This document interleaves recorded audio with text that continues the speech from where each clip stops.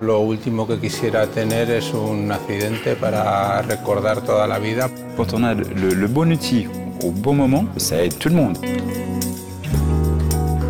Vienai kompānijai un vienam uzņēmumam būtu jādomā par darbinieku drošību. In Europe, every year more than 3,000 workers die in an accident at work. Supone un coste tremendo para las pequeñas y medianas empresas que constituyen el 99% de las empresas de la Unión Europea y son las que más trabajadores emplean.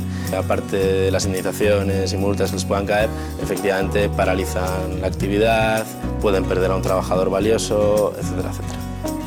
El problema principal es eh, la falta de recursos. Las empresas tienen que concentrarse en producir.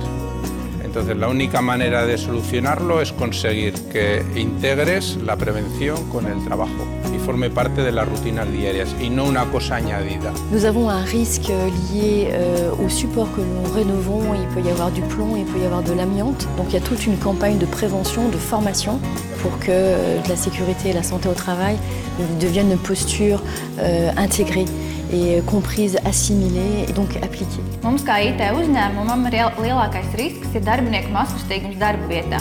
Mēs esam nodrošinājuši darbiniekus ar ergonomiskām mēbelēm. Tāpat mēs viņus iedrošinām kustēties darba laikā.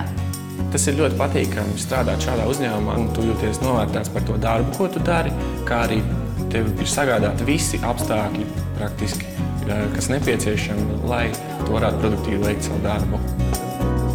La difficulté du chef d'entreprise, c'est de connaître toute la loi, de savoir l'appliquer correctement et en même temps de rester économiquement bénéfique. Il est préférable de s'entourer et de se faire accompagner au niveau des services de santé et de sécurité au travail et également auprès de l'inspection du travail.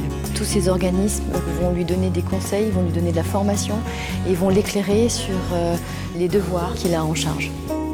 It's not necessarily expensive. You just need to invest time Yo calculo que tener un muy buen nivel de seguridad puede llevar dos, tres años como mucho. En France, dès lors où on met 1 euro d'investissement en prévention, il y a un retour minimum de 2,19 euros. Donc une entreprise doit pouvoir mettre en place des choses euh, économiquement parlant, c'est rentable pour elle.